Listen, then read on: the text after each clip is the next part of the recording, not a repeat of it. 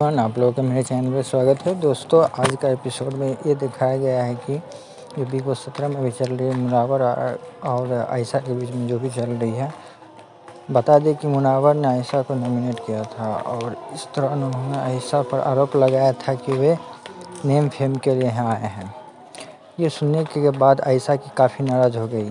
और उन्होंने मुनावर के राज खोलते हुए एक, दो नहीं, बल्कि कई इल्ज़ाम लगाए ऐसा ने बताया कि मुनावर ने अपनी एक्स वाइफ के साथ भी चीट किया था।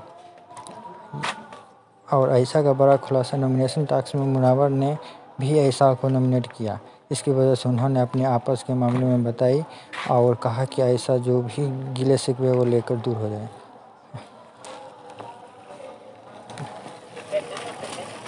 आप लोगों का मेरे चैनल में स्वागत है। दोस्तों, आज का एपिसोड में ये दिखाया गया है कि जो बिग बॉस सत्रह में भी चल रही है मुनावर और आयशा के बीच में जो भी चल रही है। बता दें कि मुनावर ने आयशा को नॉमिनेट किया था, और इस तरह उन्होंने आयशा पर आरोप लगाया था कि वे नेम फेम के लिए यहाँ आए हैं। ये सुनने के बाद आयशा की काफ़ी नाराज़ हो गई। और उन्होंने मुनावर के राज खोलते हुए एक, दो नहीं बल्कि कई इल्ज़ाम लगाए ऐसा ने बताया कि मुनावर ने अपनी एक्स वाइफ के साथ भी चीट किया था। और ऐसा का बड़ा खुलासा नॉमिनेशन टास्क में मुनावर ने भी ऐसा को नॉमिनेट किया।